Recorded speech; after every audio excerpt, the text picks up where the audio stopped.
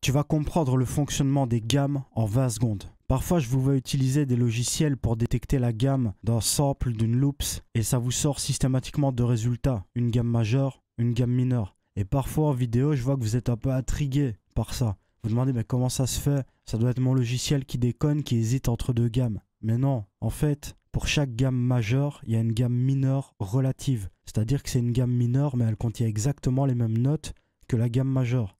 Et inversement, pour chaque gamme mineure, il y a une gamme majeure qui contient exactement les mêmes notes. Je vais vous montrer ça. J'ai plaqué ici à gauche toutes les notes de la gamme Do majeur. C'est simple, c'est toutes les touches blanches de ton clavier. Do, Ré, Mi, Fa, Sol, La, Si, Do, Ré, Mi, Fa, Sol, La, Si. Je l'ai mis sur deux octaves. J'ai fait dépasser le Do à chaque fois. Comme ça, tu sais que tu es en Do majeur. Déjà, la première chose que tu dois savoir, c'est que la seule différence entre une gamme de Do majeur et une gamme de La majeur et de Sol majeur et de Fa majeur, c'est la hauteur des notes. Donc ici, je suis en Do majeur. Si je prends tout et que je descends en Sol, ben voilà mes notes de Sol majeur. C'est simplement toutes les notes qui sont déplacées. Maintenant regarde à droite. J'ai toutes les notes de la gamme La mineur. Et si tu es un peu observateur, tu t'aperçois que c'est les mêmes, c'est les touches blanches du piano. Donc tu as la preuve ici que la gamme de Do majeur et la gamme de La mineur contiennent exactement les mêmes notes. Maintenant regarde. Si tu sélectionnes les deux, donc ta gamme de Do majeur et ta gamme de La mineur, et que tu déplaces, bah, tu auras à chaque fois la gamme et sa relative. Donc par exemple, si je me mets en Sol dièse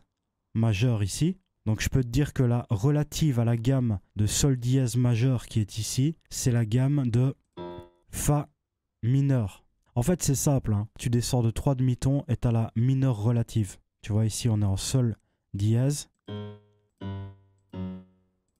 Si je descends de 3 demi-tons, j'arrive bien sur le Fa. Elles sont à chaque fois liées. Peu importe où tu arrêtes la première, tu as à chaque fois sa relative. Regarde, je vais arrêter n'importe où. Voilà. Ici, je suis en Ré majeur. Donc voilà toutes les notes de la gamme Ré majeur. Et ici, je suis en Si, donc Si mineur, contient exactement les mêmes notes. Quand tu as compris ça, tu as parfaitement compris le lien entre une gamme majeure et une gamme mineure. N'hésite pas à lâcher un petit commentaire si ça t'a fait comprendre quelque chose et à checker ma bio si tu veux te former au beatmaking. Déjà plus de 1000 beatmakers formés depuis 2016.